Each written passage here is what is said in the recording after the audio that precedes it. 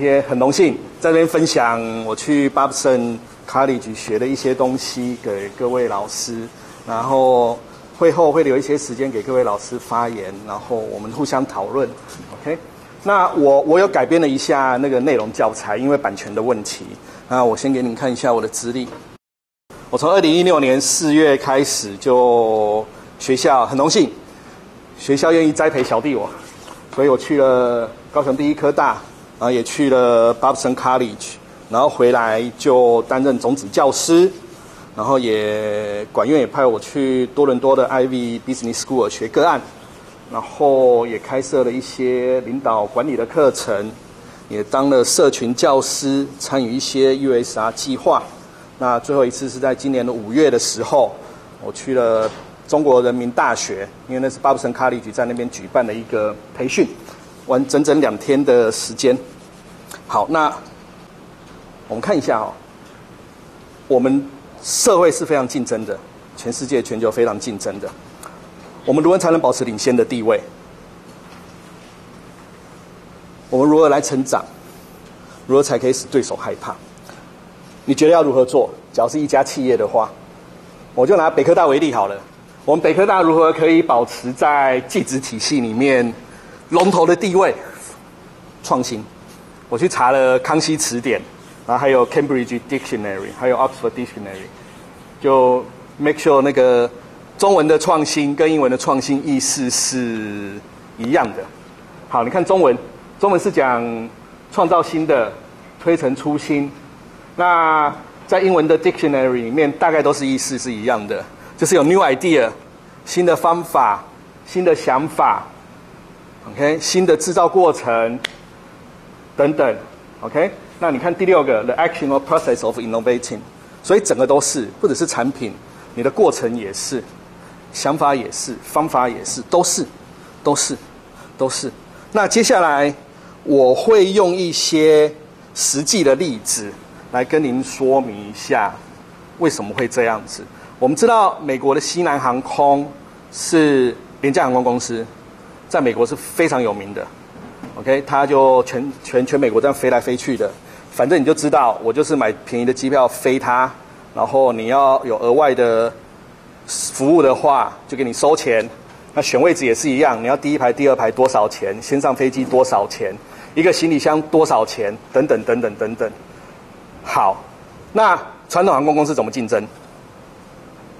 传统航空公司怎么跟西南航空竞争？我举一个例子，我用 Delta 的例子，OK，Delta，Delta，我就从芝加哥到纽约，因为正好我七月份去去了芝加哥和纽约，那我就把有一些在学习到的例子，我实际去运用，我就真的上 Delta 买买机票。对不起，我讲太快了，这边还有一页，我补充一下，稍微有点紧张。好，来这边创新有很多途径啊，就是我刚才讲的，有产品流程。服务体验有渐进式的、激进式的、颠覆式的商业模式等等等等。OK，好，我们也是要聚焦。你看，我买芝加哥到纽约来回，这是我上网去找的纽约来回，然后它的价格是这样。你有看到 Basic Economy？就是就是只是一个座位，来回是三百四十九点四九，所有钱了。它能干嘛呢？它不能干嘛？OK，它就只能上飞机。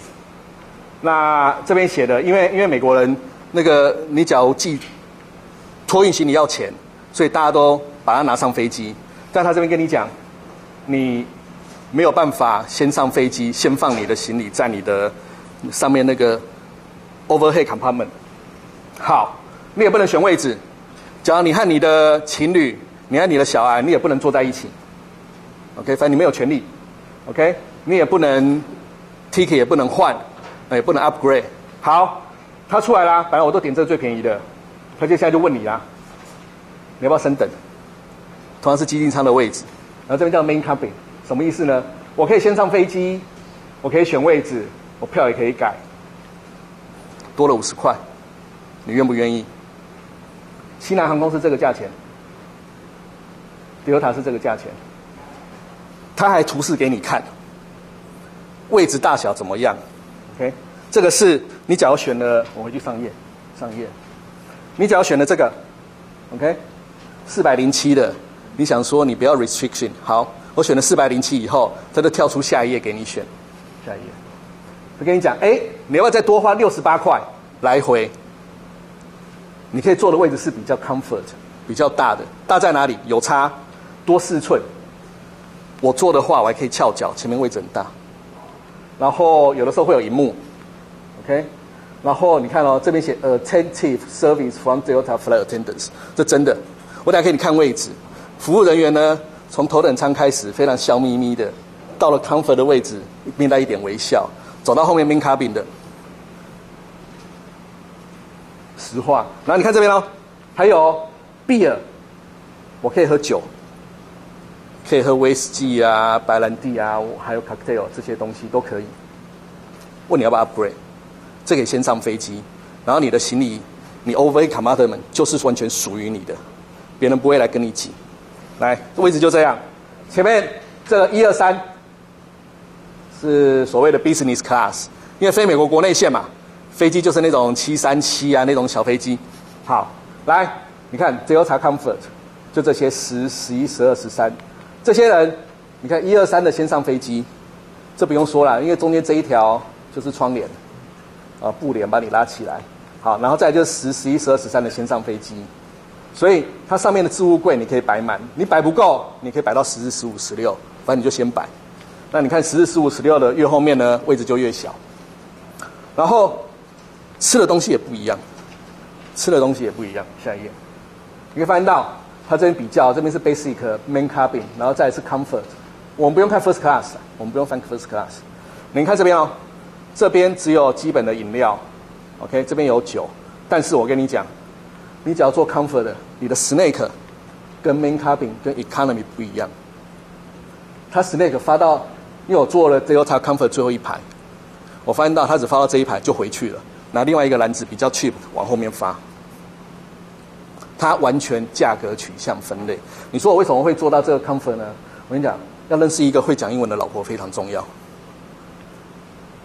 我们买 basic economy，还有一个三岁的小孩跟你搭飞机也是非常重要的。OK，他会讲英文。我们 check in 以后，我们行李也没有要钱，也要钱，那怎么办呢？你行李放不下，你在登机口。给他行李托运不用钱，所以没有人先花钱买托运，没有先在那个机场外面 check in 的时候就把行李托运，除非你是大行李箱啦。那我们那种手提的，大家都手提的行李箱，那一个人提一个就三四个这样上去，没有先花钱买。到登机口他跟你讲，哎，上面 overhead compartment 做不够了，你现在要不要托运？托运不用钱，那我们就都给他。这是一招。第二招。会讲英文，而且我有位置。我老婆就跟他讲说：“你看，我们带小孩可不可以先上飞机？然后小孩很小，就抱在身上，有很多 privilege。那个说啊，怎样怎样讲？好吧，那我给你这边坐，因为有位置就给你坐。所以我可以知道它的 difference。OK，它的 difference 在哪里？所以你可以发现到，捷塔航空它跟西南航空，而且捷塔航空它飞的是主要城市。我从芝加哥的 Ohio 机场飞到 New York 拉瓜地亚，拉瓜地亚是进纽约最快的机场。OK，拉瓜吉亚，它一个小时一班，一个小时一班。那你西南航空呢？可我可以从呀，我可以从 Ohio 飞，但是飞机很少，你只能从它的叫做有一个叫做中部航空的 Midway 那边飞出去，价钱差不多，价钱差不多，航班很少。OK，你有时候是最早最晚，那你中间的呢？你中间的位置的时候，你价格，你价格来，你看。你中间的时候，你你你西南航空价格哈，有的时候比这个 basic 还贵。有的时候你要看航班，有的时候这是同一天的，你看不同时间价格不一样。所以这种不仅是德 t 塔航空公司，其他的 AA 啊、Continental 都用这种方式价格区别，吸引不同的消费者。OK，要不然市场会被西南航空全部拿走。西南航空很清楚，我就是便宜。什么都要钱，那这边是吸引我不想要那么多限制的人，多花一点点钱。你看这价钱，其实对他们来讲差了四十块钱，来回一趟多二十块，他们愿意花。然后到这边，很多人不会坐这边，真的。你可以发现到我回来时候从纽约回来，Comfort 的位置都是空的，比较多的钱啊。，OK，比较多的钱的，所以很有趣。所以他要怎么跟人家竞争？他要想出他一道办法来，要不然他怎么生存？这是我们看一下这个广告。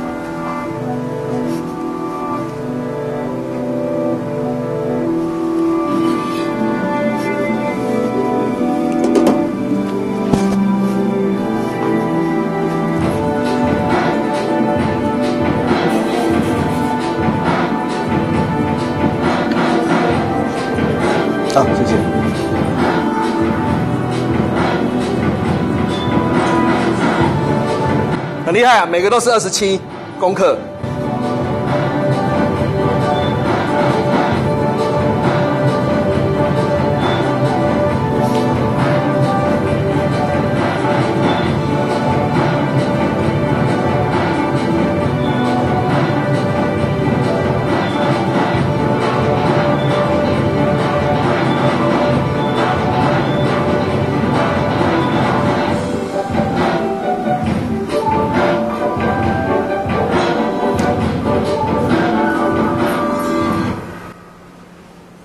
本航空飞国际线，他跟你讲，你坐我的非常准时。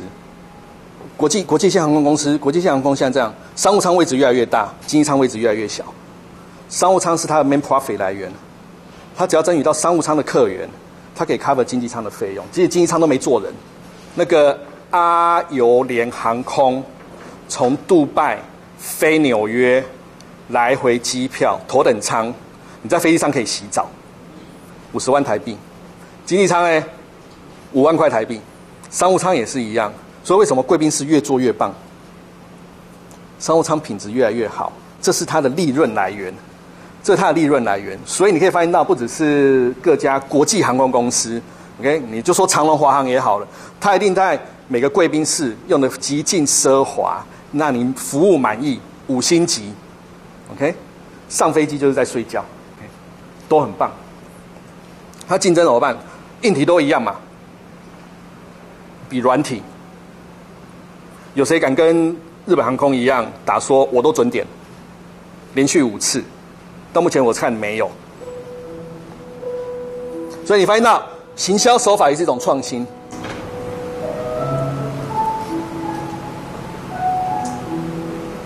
影片里面就在不同的国家，代表它飞行的国家。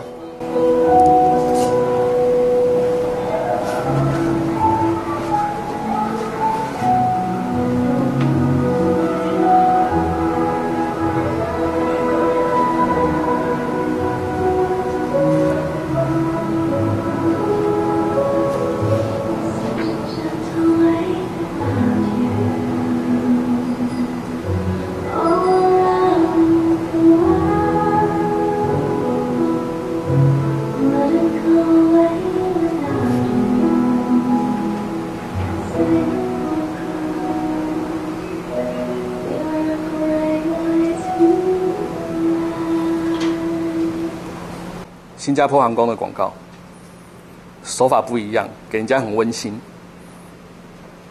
有没有种感觉？就整个很 calm down，然后服务很好，很软，他就强调软性，他要强调软性的服务，他要强调软性的服务。所以，所以每一家我前面举的，从西南航空开始，Delta，还有这种日本航空、新加坡航空，硬体都差不多，取决于 service，取决于它的软体。软性的创新，我吸引你，让你搭我的飞机感觉到很满意，你下一次还会再搭。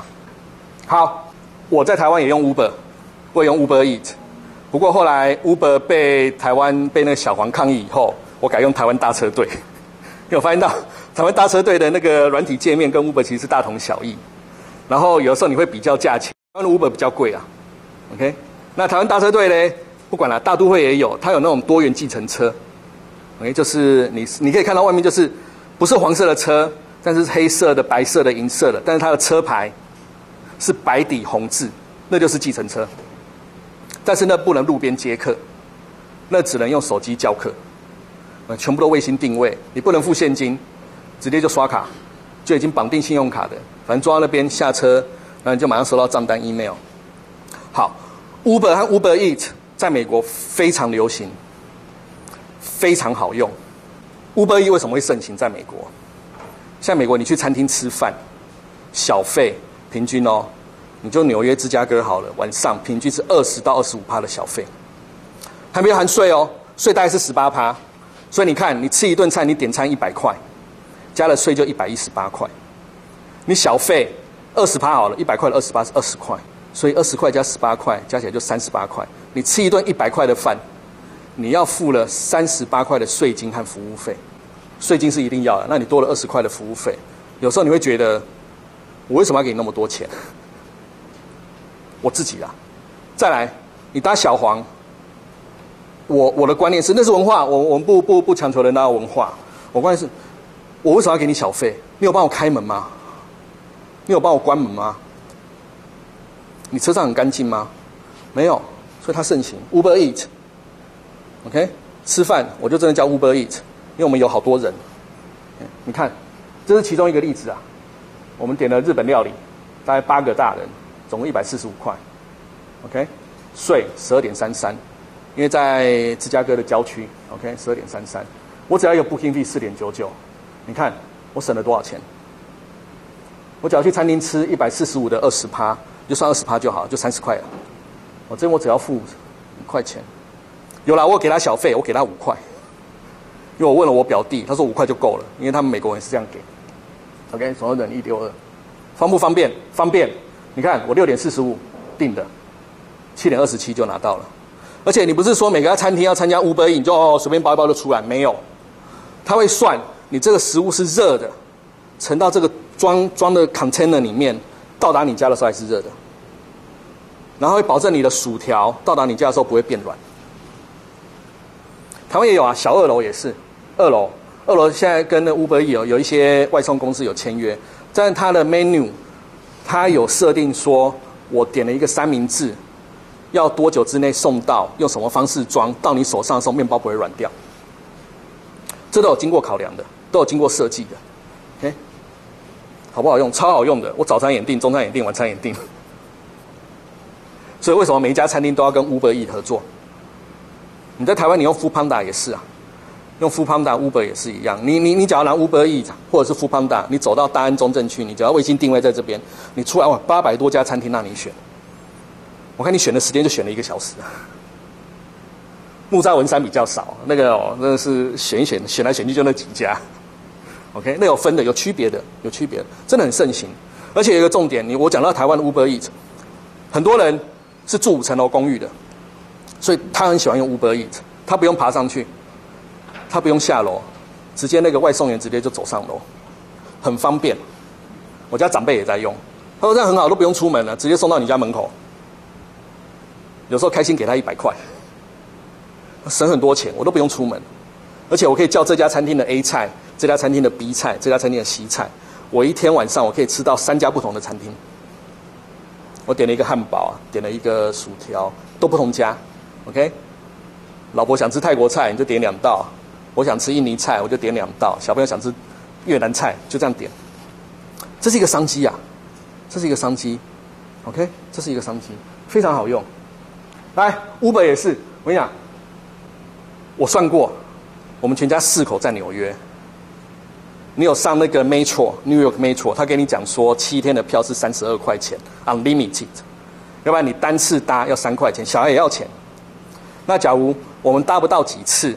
算看了，我买要买七天的，三十二块乘以四，哎，算一百三十块。我假如一次单次搭，我四个人去就十二块了一趟，而且我必须要从旅馆走走走走走走到地铁站下去买票，然后在下面可能走了很久，有的要走很久，然后搭去上来再走走走走走很久到达景点，总共要花十二块。我坐 Uber 就好了，在饭店门口直接到，反正有小朋友在。我也不用担心小朋友会哭会闹，直接坐到那边定点再回来，反正放松。这我坐比较远，你看这为什么那么贵哦？二十块，塞车啦，在四点一迈，行程二十分钟，这条路塞爆。因为我去我表弟家，OK，去我表弟家，然后回来，他不愿意开车载我回来，他直接叫我叫 Uber，因为他说这段路塞车塞死了，他来回就要一个小时，OK，所以很方便，非常方便。而且重点是你不用给小费，不是不用给，看你愿不愿意给。嘿，我也问，直接问 Uber 司机，他说你要给就给，不给就不给，反正我没给你服务。但是好处是，他抢了很多小黄的生意，抢了很多小黄的生意，所以你看到有些小黄上面也装 Uber。还有另外一家 Uber，还有另外一家 Lift，因为 Lift 我没办法用，因为我的手机电话号码没办法用，所以没办法叫 Lift。Lift 跟 Uber 价钱差不多，大家都会比较。OK，下一页。所以你看，我在纽约全部做 Uber，小朋友也好开心。每天早上小朋友说：“我们今天做 Uber 是哪一台车，什么颜色的？”因为出去玩嘛，放松。所以全部加起来，我去了六天，在纽约住了六天，我花所有计程车钱花了一百五十块。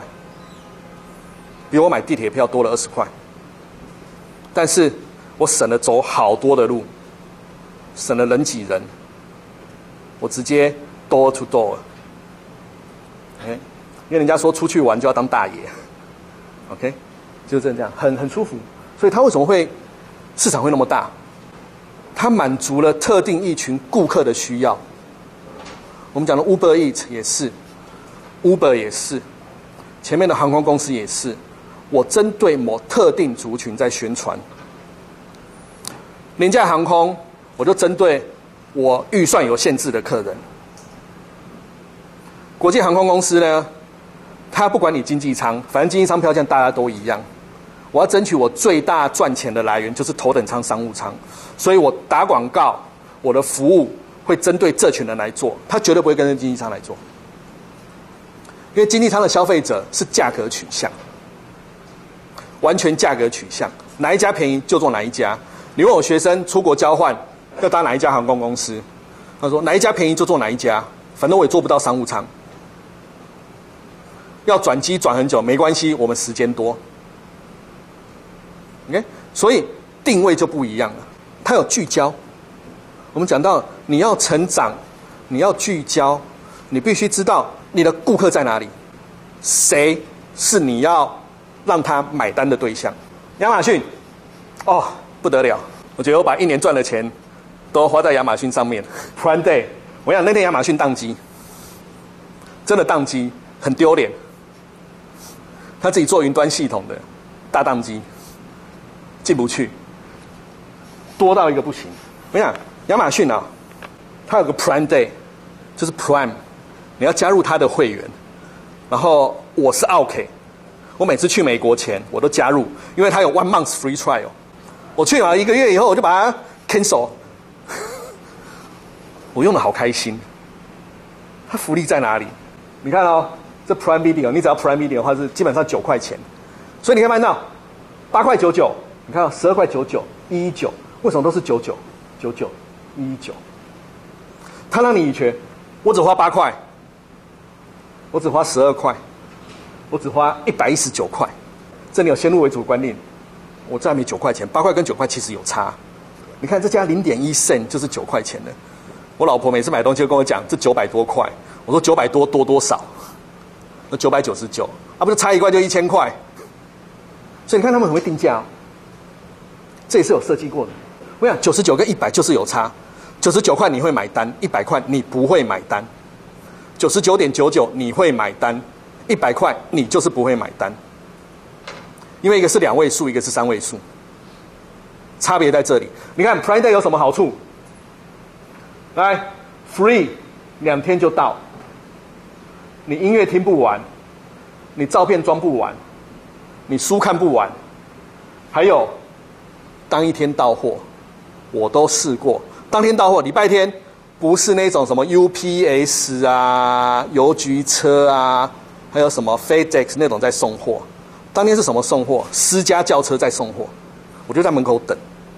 私家轿车送货，我直接问，他说：“对我礼拜天打零工，真的私家轿车哦，没有牌，什么都没有。”然后他送完我这一家，行李箱再打开就是下一家，行李箱再打开又下一家。他敢做，因为那天我们临时要买个东西。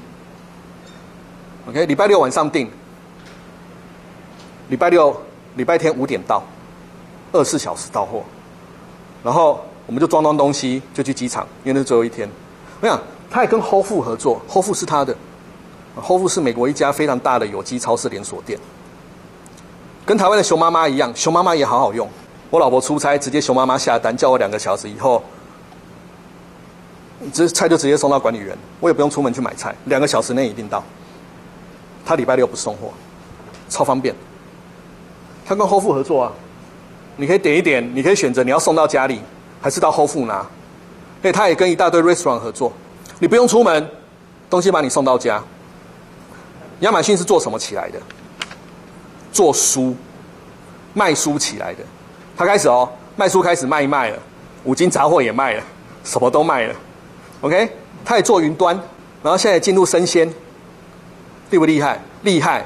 它的优点是什么？你知道它 Prime 的会员有多少？二零一七年有一亿个会员，一亿个哦，全世界有一亿个 Prime 的会员。我就算好，你就算一百美金就好了。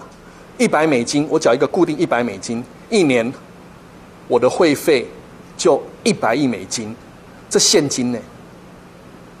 现金，我们这种不景气的年代，现金为王，他直接先收一百亿美金进来。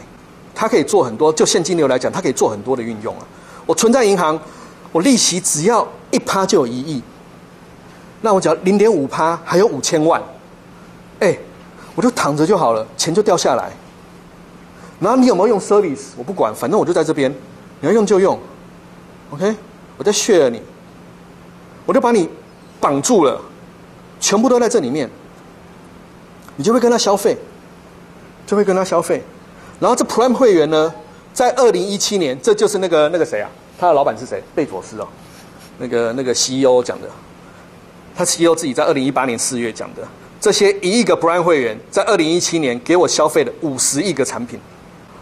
哦，亚马逊股票要买。哎，他不止做这个哦，他不止做这个哦，你往下看，我们知道这三家，Netflix 就是线上影音串流，Amazon。这个叫葫芦啦，你看，Netflix 之前是做 DVD 的，就是租人 DVD 的，你跟我 order，我寄到你家，几天以后你拿到哪里还，或者你再寄回我给我还，OK 这样用。他看到趋势了，DVD 店你看 Blockbuster 一直关，他改做线影音串流，抢市场，你看品质多好，自己也制造。制作那个电视剧，OK，最有名的好像是卡牌屋，那纸牌屋是不是？对，好，亚马逊，对，你看他他 Prime 会员太多了，他卖音乐卖 Media，他现在也做 Movie，什么都做。他，你看他也是从书开始起家，慢慢慢慢做，越做越大。他每次只做一件事，OK，跟这个合作专注，现在做这个影音串流，因为他会员很多，多到不行。葫芦。葫芦现在是就传统的那些影视行业啊，什么福斯影业，他们自己出来创的。但是葫芦现在被私人公司收走了，Black Rock 那个黑石企业，假如没记错的话，为什么私人公司愿意收走？它有价值啊！这现在是全世界前三大做影音串流的，有谁还去 DVD 租片的？DVD 商店租片的？我在那个哪里还有还有钱，但是那个店越关越少。OK。所以，他们知道他们客群在哪里，他们知道他们做什么事。亚马逊最近又做一件事，他把《华盛顿邮报》也买了。前几年把《华盛顿邮报》也买下，他买报纸了。他买报纸干嘛？他缺报纸。《华盛顿邮报》其实里面文章是非常好的，编辑是非常好的。我不用每天发行，我就在网络上 update。网上 update，我给你收钱，它比 free distribute 还赚钱，它吸引那一群我愿意阅读报纸的人来买单，而且你看它有它有那个什么，看一种是？指 Kindle，黑白的，其实你读黑白的，比读那种彩色的来的舒服，这它的趋势啊，它非常厉害，所以你看这三家，他们知道他们要做什么，他们做不行啊，现在进电影院的人。我已经好久没进电影院了，有小孩以后，我不用进电影院了。他影音串流做到电视那么好，影音设备那么好，就在家里随时都可以看，可以按暂停、快转、倒转、重复看，很舒服。OK，市场在那边。而且我跟你讲，你有事哦。那个那个我在 Delta 上面哈，我还偷偷的接到 WiFi。我这种人哈，很喜欢很好奇，我后面会讲好奇，居然让我接上，我不用付钱，因为我看到前面一个客在那边接，好像他也没付钱。那外国人，因为那机可以看到，他他在他连在飞机上看 Netflix 都没有断讯，都没有 lag。我不知道他们怎么做到的。而且你知道，做做美国国内航空公司，他不会叫你手机关机，每个人都一直在用 WiFi，起飞也在用，就直接看影片。我不知道他技术怎么做的，好厉害，真的很厉害。我不晓得他那串流怎么做的。这个我们大家知道啊，这个卖苏打粉的 baking soda 超好用，小苏打粉居然可以除臭啊、洗东西呀、吃啊都可以。这家公司几年了？他一八四六年开始。他只卖一个产品，叫做小苏打。不过他现在很多元了，你看他怎么多元？讲清东西也要用小苏打，煮东西也要用小苏打，都用小苏打。它现在有一百七十种产品，但是都是从小苏打发展出来，慢慢扩张的。你看我这边有，这字比较小。你看，这就是纯传统的 baking soda product。还有什么？除臭小苏打放在鞋子里面，确实可以除臭异味。然后小苏打。里面加一些糖可以杀蟑螂，哎，然后你看地毯也是，你只要地毯有那潮湿，你撒小苏打上去，它会吸收那些异味，你在吸尘器吸掉就干净了。游泳池也要用，OK，哎，我发现到这些可以清洁，那我来做洗衣剂嘛，来洗衣的有 liquid，它帮你直接调好，有那个 powder 的，有 powder 的。O k 这些都是，还有小苏打也可以去渍。有的也可以去渍，它有专门为敏感性肌肤设计的，连那种男生有异味的，连猫砂都做，其他的连连宠物的消毒的东西都有，他甚至连牙膏牙刷都做了。我没做其他的，我就专门从小苏打发展出来，我就聚焦在这边，我就从小苏打发展出来就好，我就卖了一百七十几种产品。对，Costco 里面也有卖这个，对啊，很好，大包，超好用的。洗衣机也是用那个洗，什么都用那个。到最后呢，他连小朋友鼻子不舒服都可以用，超厉害！真的，这个东西也是卖到下下叫。还有一个原因，刚才讲说，我为什么都讲美国的例子？美国人口有多少？三亿，卖东西。台湾人口有多少？两千万。东西哪里比较好卖？三亿人口，人家说卖一支牙刷，只要赚一块钱就好。我卖到美国，我可以赚三亿；我卖到中国大陆可以赚十四亿；我卖到台湾只能赚两千万。所以市场在哪里？所以他他他讲实话，台湾企业为什么没办法做到那么大？人口就有限制了。我没有办法把品牌做到那么大，所以台湾很多企业是讲求隐形的。我做里面的东西，我后面会讲。台湾，你只要打一个品牌，像打打刚才那些品牌啊，你做一个品牌，你要让全世界大概有一些知名度，你最少要烧两亿美金。有哪一家公司可以让你这样烧两亿美金烧下去？所以我们要知道自己清楚的定位。来，所以你看他们有没有选择市场？有，他的市场在哪里？他选谁？为什么？他为什么要推这个产品？为什么？我们是谁？这边讲的是那个他巴布森卡利局讲的啦，这就什么大猩猩呐、小猩猩跟 monkey。就当做是三个不同的企业，一个是小家公司，一个中型公司，一个大型公司，你的定位就不一样，你的创新方式就不一样，你的聚焦就不一样。我大公司可以不创新啊，可以吗？可以啊，我就买小公司啊，我就把 Monkey 买起来啊，我就把中信星买起来啊，或者是我大公司自己也可以创新啊。都可以，有很多种方式。我小公司要怎么生存？我一定要找到大公司、小公、中公司、中型公司没有的东西，去做，或者是他们缺少的东西，我去加以改良。我讲一个实际的例子，我我前面还没有介绍我的，我从小生长在创业家庭，所以我老婆也是创业家庭上来的。我周围很多朋友都自己创业。我先把后面要讲的讲来了。他们进到一家公司，熟悉这个商业模式，知道他有不足的地方，而且这家公司不愿意做，他自己出来开公司，跟他公司对打。我就做那家公司没有的，就做起来。所以他明明显知道，我不跟你抢那个大市场，我知道这个小市场小利润你不做，我就来这边做王。等到我这块做好了，我慢慢再发展起来，大公司来不及了，只好把它买掉，危险啊！所以那时候为什么红海一直买公司？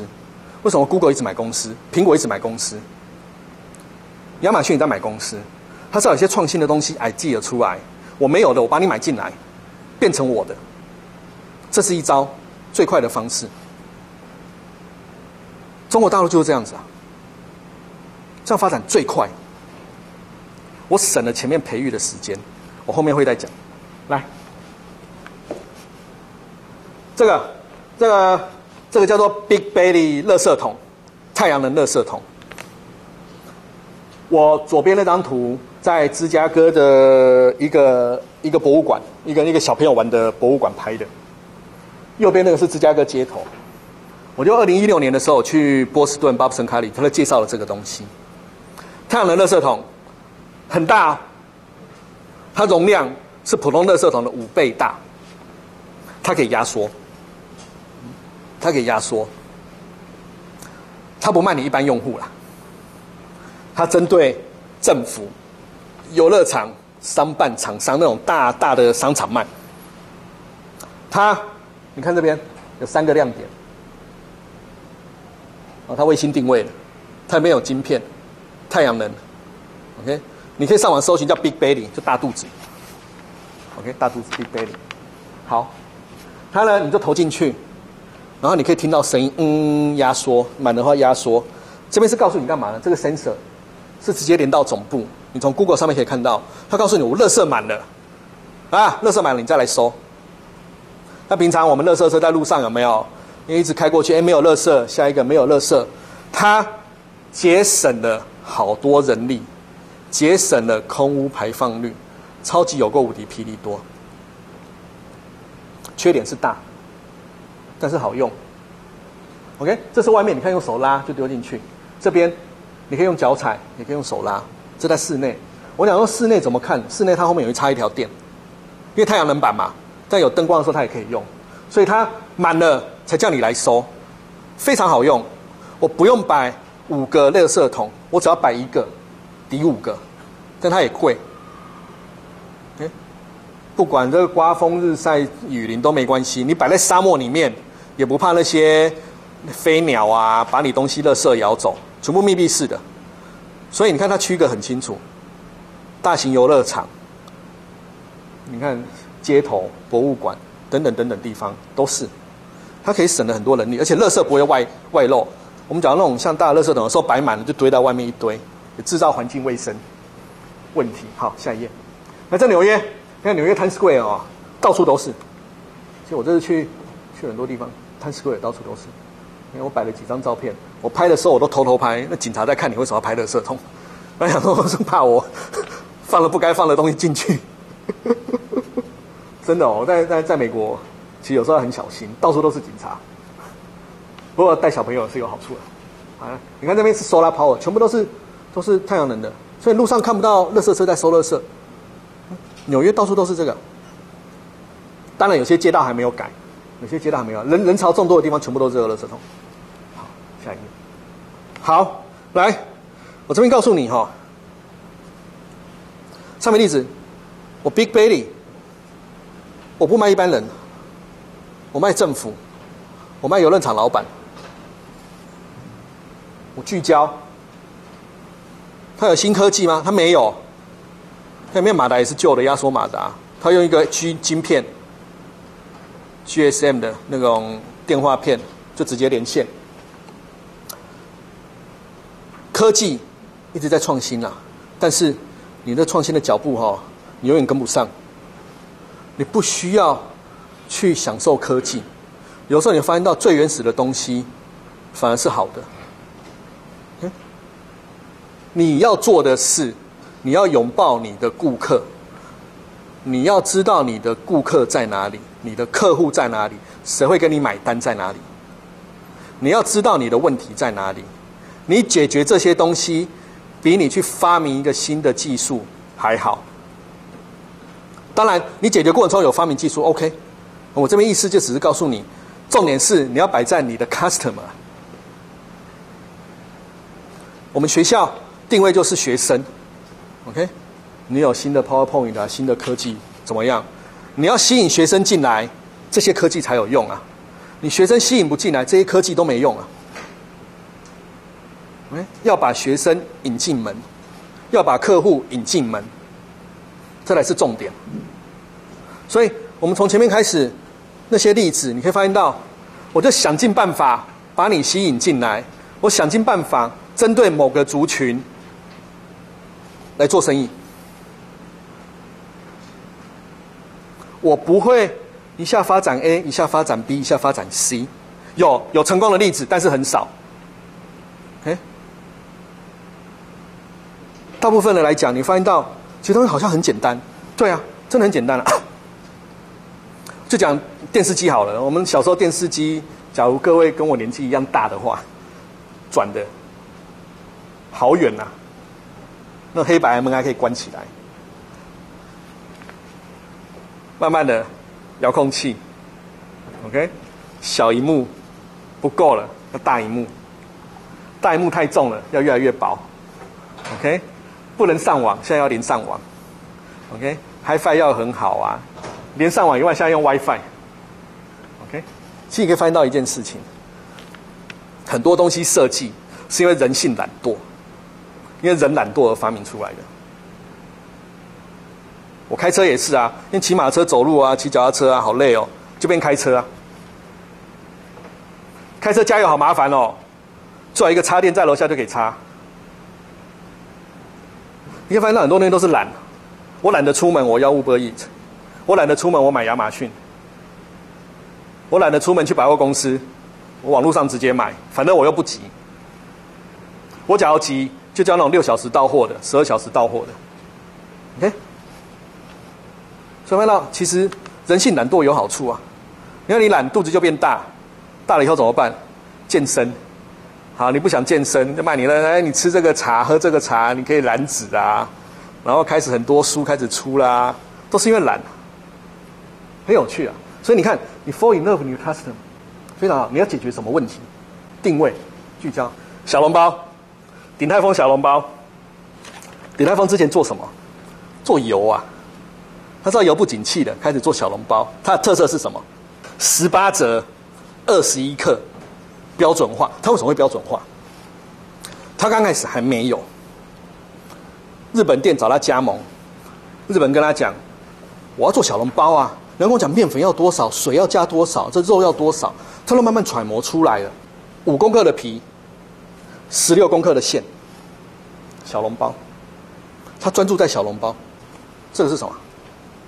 这是鸡，这是鸡肉小笼包啊。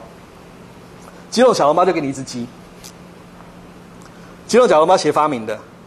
他进军到印尼市场，印尼的印尼的那个加盟主，印尼的那个合作伙伴发明的小笼包，鸡肉小笼包传回台湾，所以他这么花一只鸡。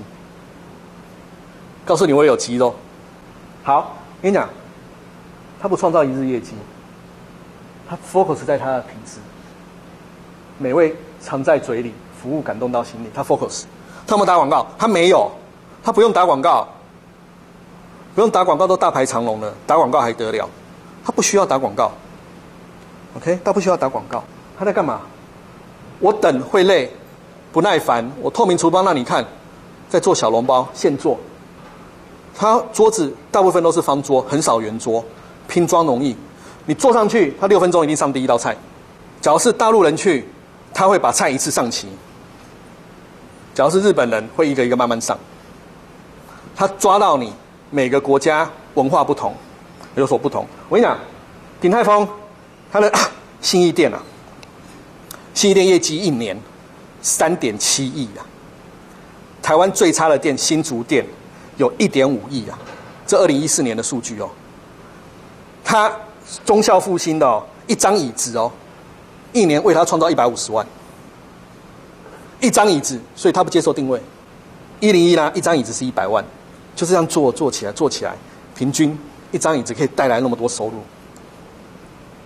而且你看啊，鼎泰丰很聪明，他只有一家本店是在外面开的，他所有全世界都开在商场里面，而且他 focus 在中产阶级以上，所以他只会找大都市开，比较能够消费的地方开，一楼两百二啊，所以它有区隔。然后它信义店不收信用卡，你只要去，隐藏去你就知道，他不收信用卡，他找钱找新钞，新钞让你拿到爽。收卡的店子就是跟商场合作，OK，信义店只收现金，所以他他的创新在哪里？品质啊，他用健康的食材要做出一样的东西。来，我这边快速讲，这是什么品牌？这是 Burberry 啊，当初形象很差，都是这些不良分子在穿。Hooligan，你在英国，你看，你看，嗯，穿这样子，形象是不是很烂？谁要穿啊？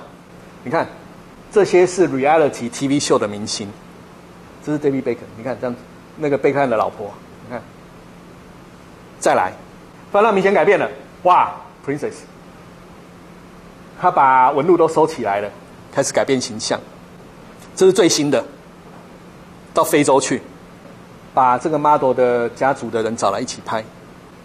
他为了把形象扭转过来，下了很大的功夫。他从内部创新，他用社群软体，OK，社群网站、社交网站重新打形象，重新做广告。因为他发现到 Burberry 是精品，精品店的很少会把精力花在做社交网站上面，很少精力会在网络上做数位。为什么这些精品不做？我跟你讲，因为那会买的啊，大老板那种人啊，有钱人啊，他们才很少上网的。我直接走进店里面买一个五十万、一百万的，你看到爱马仕，他会去看爱马仕网络上有什么吗？不会啊，他直接走进去就问他要什么。甚至 Burberry 比他们便宜啊，他要吸引一群中产阶级，然后有钱的想要犒赏自己，买一个好的东西。OK，这已经跳过 Coach 了，所以你看。品牌数位化，他的店里面就改装了。下一页，你看，你看，其他奢侈品牌没有做电子商务，他开始发展，他把 iPad 放入商店。iPad 里面你走过去，做实际去看过。你看这件衣服，他跟你讲这衣服怎么做的，从哪里来的，质料是什么，怎么样，怎么样，怎么样，怎么样。然后很多 model 走秀，等等等等等等，做的非常好。然后他做 life 的走秀，他走秀的时候就 life。赖福在他的网站里面，然后你可以直接下单买那件衣服，这是他厉害的地方。好，下一页，就这个人，这个人叫做我忘了，叫做啊，他中文叫做阿德，对，Angela 阿阿珍，安琪拉艾伦斯，你们看到这个，他登上他。二零零六年到二零一四年，在 Burberry 做，他把 Burberry 的声势拉回来，他把 Burberry 的业绩创新高，他裁撤掉了很多不需要的东西，专注在电商务上面发展。你看这边写，你看 Inside Burberry 是 Innovation Machine，就二零一四年被挖角到苹果，到现在，他的薪水一年加 bonus 二十三亿台币，在苹果，那是加上股票选择权，厉不厉害？厉害。你看他手上拿个 iPad，数位化，他做这样的转型。好，下一页，香蕉，我很喜欢讲香蕉。我因为这个认识这个香蕉品牌而开始吃香蕉。我以前很讨厌吃香蕉，当兵的时候每天塞你香蕉，塞到最后很讨厌。香蕉打广告，这全世界第一大的 Jaquita。香蕉。他打广告，哦，他每只香蕉长度一样，宽度一样，而且都很漂亮，金黄色，就很像 Costco 卖的 Dole，Dole 那是另外一家。OK，你看到 Dole 的香蕉里面，它基本上黑点很少，它一批一批一批这样选过。它有自己的港口、自己的物流、自己的车子，在中南美洲种植面积超级有够无敌霹雳大，里面你你你里面的那些那个居民啊，你就帮我。顾好香蕉，小朋友教育我负责，所以一代传一代，都在为他做。香蕉可不可以水煮？可以呀。香蕉这个网站上一百零八种做法，煎、煮、炒、炸、咖喱，什么都有。它，我们只是认为它水果，它不只是水果啊。你看它有贴纸啊。它有形象，来下一页。你看，跟小小兵合作，这香蕉女王，在每每个香蕉上面都有贴纸。哎，我光是卖这个贴纸给 Jackita 可以赚多少钱啊？一只香蕉上面有一个贴纸啊！我光是卖这个箱子给 Jackita 可以赚多少钱？你看它周边的生意有多大？它有自己的远洋渔船、远洋船那个那个货船。他为什么要跟小小兵合作？小朋友爱吃香蕉啊，香蕉多好，一天三餐都可以吃。你们可以上网去看哦，那个影片十分钟，YouTube Jackita 它有一个形象广告，十分钟从头到尾生产，就知道这个太太太大了。下一页，他要打广告啊，因为小朋友跟妈妈去超市的时候就会拿 Jackita。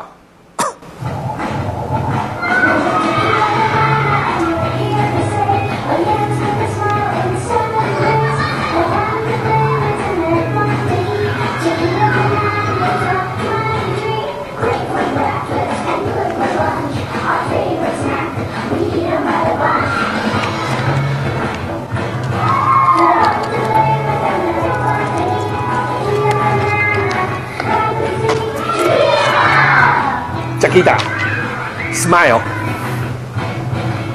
香蕉好黄哦，刺眼。它另外广告是戴着太阳眼镜，跟你讲说香蕉品质最好。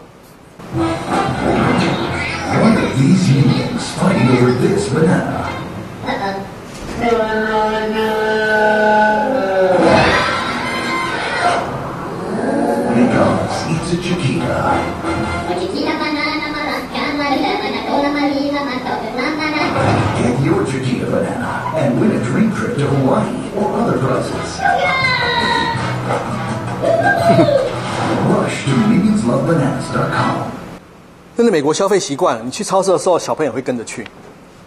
小朋友拿糖果，爸爸妈妈可能不愿意拿香蕉嘞。好东西呀，放到篮子里。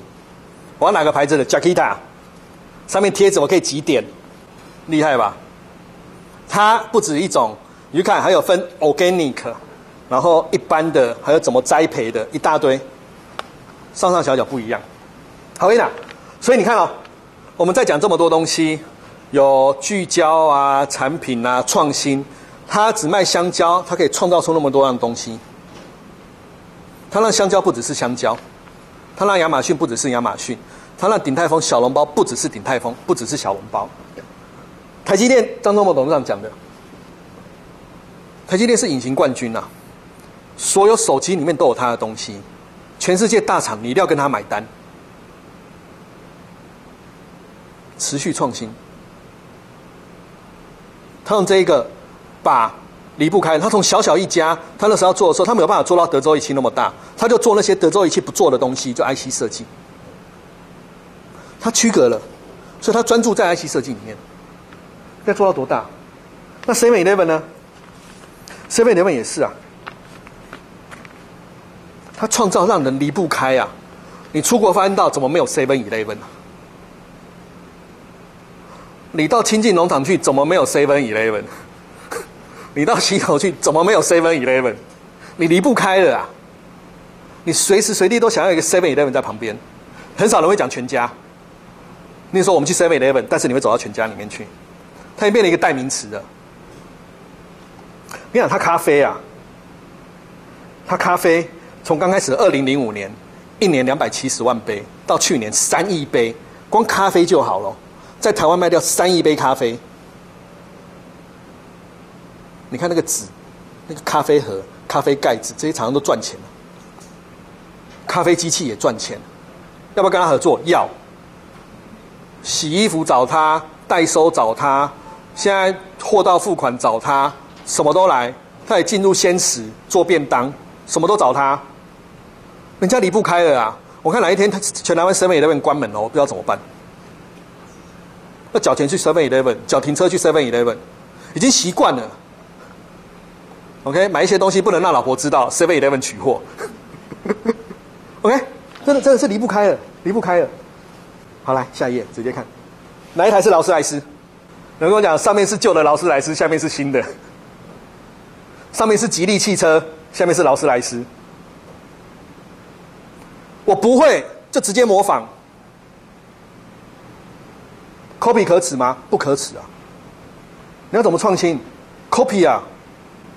我们写书法不会写，就拿那什么颜颜真卿什么王什么那个临摹，磨铁磨以后有灵感了，再自创格式。下一页，来哪一个国家？这这是人家的 PowerPoint 的，我就直接用上来。所以，来，不用担心盗版书、食品掺假、牛肉、乱填标签、缺乏安全、假冒酒、增长经济、为了盈利放弃标准底线、法规不严。我想第一个想到是 Made in China，这美国，美国一八五零年开始这样做，每个国家都一样。那个时候，英国、欧洲很怕美国抄袭。所以看到角色慢慢换了，经济发展起来，台湾之前，现在中国大陆，现在换东南亚，再就非洲。我不会我就抄，我抄了以后再去创新。我不会我买一台车回来，我把它拆开来。毕卡索，毕卡索也是抄的，他自己讲。Good artist copy, great artist steal。他 steal，他先模仿别人，他偷别人，然后再想办法做出自己的新东西。模仿不可耻啊，抄袭不可耻啊，因为我不会啊。我外观会做了，然后做里面，范谷也是抄，他自己讲，他写给他爸，没有写给他哥。他讲，他完全是学日本画的。他把日本画学会以后，发现到日本画里面有一些东西缺乏，他来自己创造出来。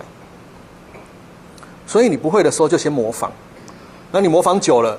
就可以找出里面跟人家的差异在哪里。迪士尼也是一样啊，迪士尼公园、迪士尼游游乐园，他为什么会做那样子？他的想法灵感来自于丹麦的，丹麦的一个公园，所以左边是丹麦公园，右边是迪士尼乐园。新天鹅堡也是嘛，德国那个那个那个那个迪士尼那个城堡，他直接讲它源自于新天鹅堡，抄袭的人赚更多钱九十七点八趴的创新价值进入了模仿者的口袋。你要不要 copy？要。copy 有好有坏。你能把 copy 做到尽善尽美的第一名。所以那个、那个、那个、那个包包啊，你让做到人家连假货真货分不出来，你超厉害，真的超厉害。我买过正牌的鞋子，跟从淘宝买假的鞋子，我看不出来差异在哪里。真的摆在面前，有差异。你穿了以后发现到它的内层里面有差，但是你要很深入才摸得到。这谁讲的？最近很热门的八十五度 C 的老板，我都是捡便宜的啦，把它拿过来而已，再复制而已，都不是他去想的。他可以做到。最后这边文化，我跟你讲，文化差异也是一样。我放最后一个影片，下一页。文化差异，跟你讲，你在做事的时候，你要了解到文化差异在哪里。这 HSBC 的广告，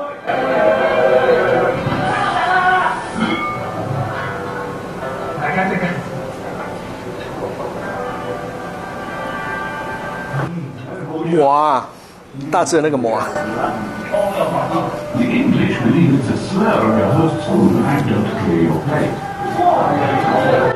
英国人是人家请客的时候，你一定要吃完，不吃完是不礼貌的。那我们中华文化是，你只要吃完，表示你吃不饱。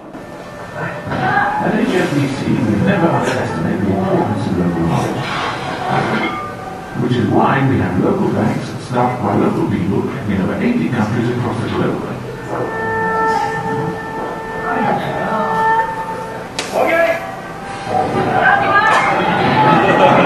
HSBC 你你总不能去穆斯林国家卖猪肉吧？